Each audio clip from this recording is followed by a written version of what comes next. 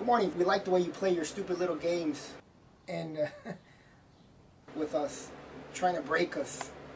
You're the one that's going to lose, Tom Ness, and your flunky uh, employees there. And we're going to send you back to Wisconsin when you came back. Uh, $363.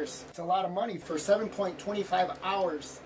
Not a full eight hours like you guys usually play games with us. Always, Tom Ness, you always play games with us. Are you doing that to Will Rent?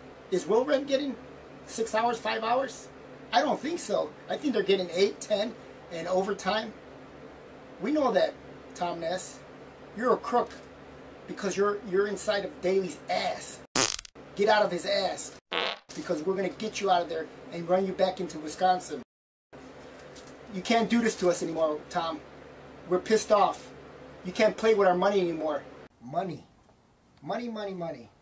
Well, it's gonna matter now, Tom Ness and your your uh, group of flunkies. Have a good day, Tom Ness. Phony baloney. And uh, that's all I have to say. And uh, God bless everybody. Thank you.